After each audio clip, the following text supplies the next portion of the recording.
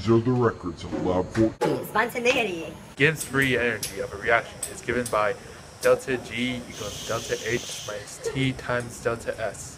It's also equal to negative R times T times ln K.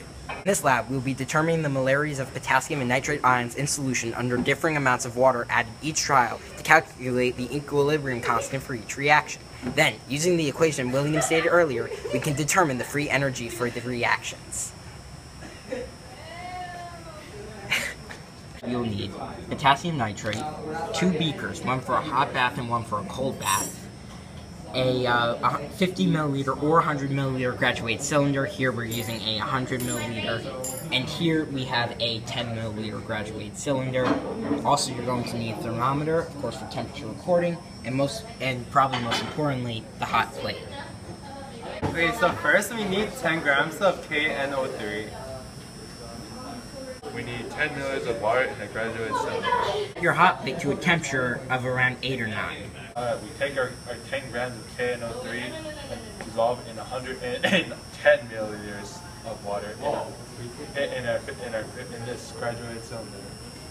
This process can take some time, so to tide you over, here's some footage of Darren impersonating Kate Winslet from Titanic. Mommy, like one of your French girls. To prepare a cold water bath, we're going to need to take one of our beakers and fill it two-thirds of the way with water.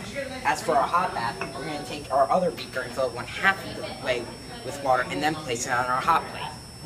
Are you going to do a funny little dance? No, that's your department, buddy. To always remember is lab safety. This might not be the lab safety demonstration, but it's something you should never forget. This is what happens if you don't tie your hair back. We aren't even working with fire for this lab, and you don't even have long hair. Well then, then why is my hair on fire? Why don't you tell me?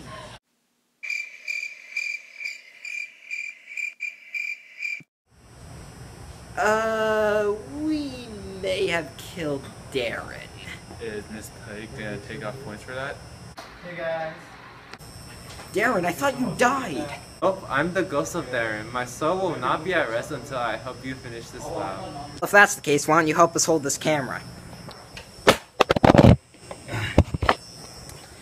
Note to self, ghosts can't hold cameras.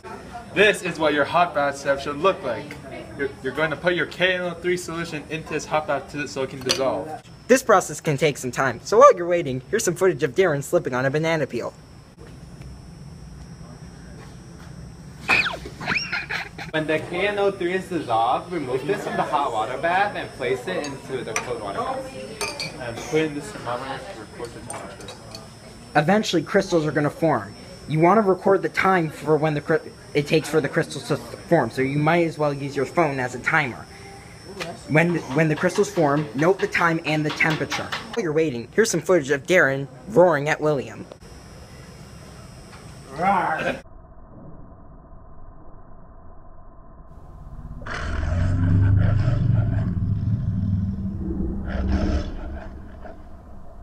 is what the crystallized KNO3 looks like. After we, we see our crystals, then we're going to do the experiment again, but each time with 3 extra milliliters of water, which we will measure out in our 10 milliliter graduated cylinder. We'll, after we've added 3 extra milliliters of water, we'll, pla we'll place the KNO3 solution back onto the hot plate until it's dissolved once again, and then we will put it back into the cold bath until crystals form again, and, and do that many more times as, as many for as many trials as you want. It looks like this lab is over. I must go now. Darren, you can't. You mustn't. I must. I'll see you guys in the afterlife.